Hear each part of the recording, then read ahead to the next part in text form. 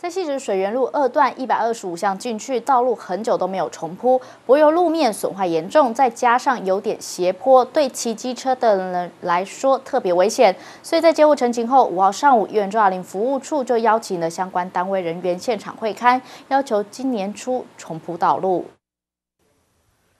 水源路二段一二五巷进来，也就是白云里篮球场旁的这条道路，路况真的很糟。前半段窟窿深达二十公分，曾经有人骑车摔伤。虽然现在已经暂时填平，不过再往里头走，柏油路面也好不到哪去。十几二十年没有重铺，龟裂严重，也坑坑洞洞。这里是水源路二段一百二十五巷里面，里面有住家，这个柏油路面损坏很严重啊。我们李明一再的跟周亚林议员反映，那现在周亚林议员。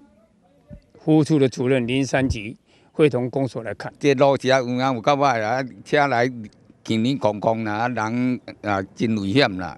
啊，听咱咱这公所若讲有法度经费的时哦，来来甲咱修理者。路面呢，整个坎坷不平，而且呢，那个路肩呢也都崩落，所以骑车子、开车子都。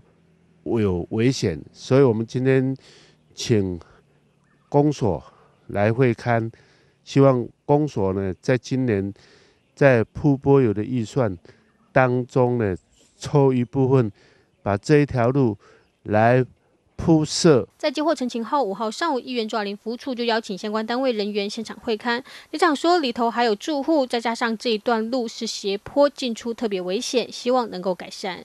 这个里面有有有汽车，还有摩托车，常常有人发生跌倒，因为路面不平，路面不平。